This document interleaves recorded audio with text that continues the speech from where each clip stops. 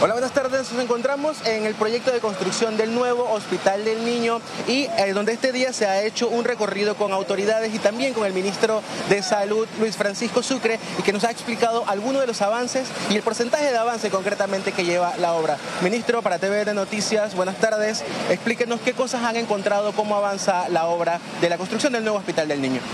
Bueno, eh, en el día de hoy estamos, estuvimos realizando una inspección con todo el equipo de la gobernación, el equipo técnico, tanto ingeniero como arquitecto y por supuesto los responsables de la obra. Eh, según el informe que nos dan, tenemos un 20.4% de avance físico en la obra.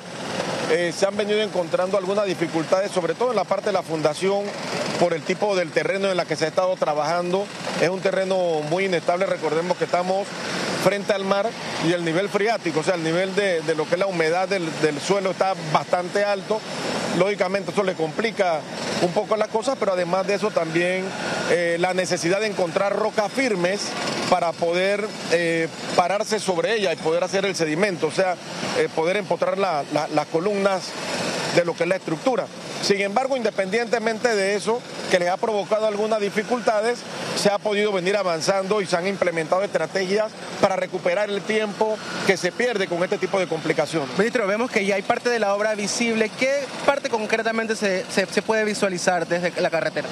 Bueno, eh, aquí lo que se está visualizando es la parte, sobre todo, de lo que es consulta externa, eh, laboratorios, y farmacias. Eh, falta todavía la otra parte que no, no es visible todavía, que es una de las partes más altas, que es la torre. Recordemos que esto lleva 21 pisos, además de los dos pisos de O sea, estamos hablando de 23 niveles. Ministro, para ir finalizando, eh, costo y cuándo se podría estar entregando este proyecto. El costo de esta obra es de 443 millones eh, finalizada, eso es lo que se ha establecido y se debe estar entregando ya con todo el equipamiento y funcionando para diciembre del 2025. Sin embargo, aspiramos a que ya para diciembre de este año estamos tratando de coordinar con la, empresa para que ya en el 24 esté por lo menos ya la parte más importante de la obra. Bien, como hemos escuchado, son algunos de los avances que presenta el proyecto de construcción de este nuevo Hospital del Niño, como lo ha dicho el ministro, se prevé entregar entre el 2024 o el 2025. En nuestro noticiero estelar, mayores detalles. El reporte Jorge Quiroz, TVN Noticias.